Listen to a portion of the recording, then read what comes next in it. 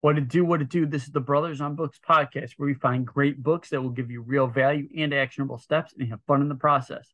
Please reach out to us at brothersonbooks at gmail.com for any book recommendations or if you'd like to be a guest host for a particular book you have in mind. A great review or rating on whichever platform you're listening to this would be greatly appreciated. And lastly, if you can think of any friend, family member, or coworker that might like this episode, please pass it along. I am Jack Allwile apologize if you were expecting to hear Alistair Humphreys today. Due to a scheduling conflict, we've pushed his episode back a couple weeks, but he will be on, and we are very much looking forward to having him on. So this week, I'm going to do a solo recap and goal setting for the new season. So far, in season three, the books that I read, either as a solo mission or with Al, were The Bookseller of Kabul, Sandy is the Future of Wealth, Brunch of Giants, 32 Lessons of a 10 Day Fasting Retreat, Becoming Your Own Banker, Inside Out Coaching, Gimme Shelter, The Compound Effect, When Breath Becomes Air, The Coddling of the American Mind, and lastly, The Go Giver.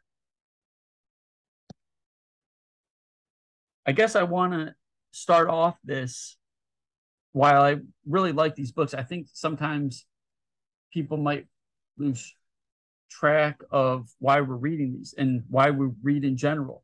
And we want to learn things, of course, but we want to implement that into our lives.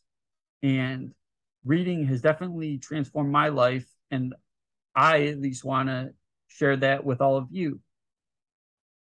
In 2016, I lost my job it was kind of a reset period in my life. And when I discovered reading in that time, it really helped me along and moved the needle with my decisions and my actions. So, that being said, between now and when I'm recording this, it is September 10th to the end of the year. I'm going to basically set some goals that I've kind of based off of what we've read and part of it is just being more grateful, but I really want to have this last push to the end of the year be about really just giving value. And in the Go Giver, the last solo mission I did, it talks about the law of value and the law of compensation. And the law of value is, you know, just give more value than you're taking in payment. And law of compensation is you know you're compensated basic, basically off of how many people you can help and how you're helping them how well you're helping them. So with that being said i want to amplify how much i'm giving to the community. I want i want to post three times per week in my personal youtube channel. I've gotten requests to talk about some of my house hacking that i talk about on other podcasts. Investing saving and budgeting. So I'll be talking about those topics on my personal YouTube channel. I, have mentioned it a little bit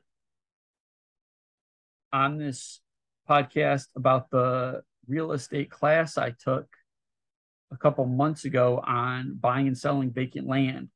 And I kind of want to amplify that and send an average of 30 letters per day to prospective sellers and hopefully we can get people that are looking for land land and we'll make some money in the process.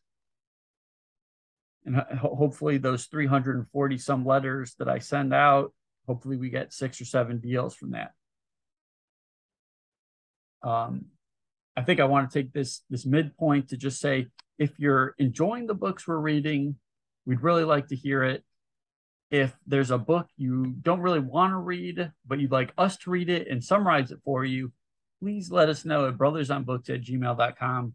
We really want to know how you're liking the book selections, and we'd like to get to know you a little more.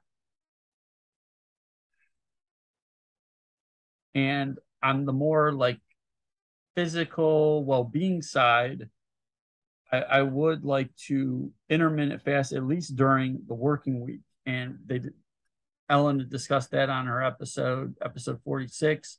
So I, would like to intermittent fast at least during the working week. And hopefully I'll start feeling a little better. I've been traveling a lot, it feels, and haven't been eating the best. So um, these small changes will hopefully produce great results a la the compound effect, episode 51.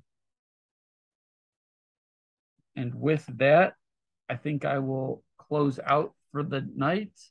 I hope everyone is enjoying the book selections. And if not, please let us know. So please reach out to us at brothersonbooks at gmail.com for any book recommendations, or if you'd like to be a guest host for a particular a great review or rating on whichever platform you're listening to this would be greatly appreciated.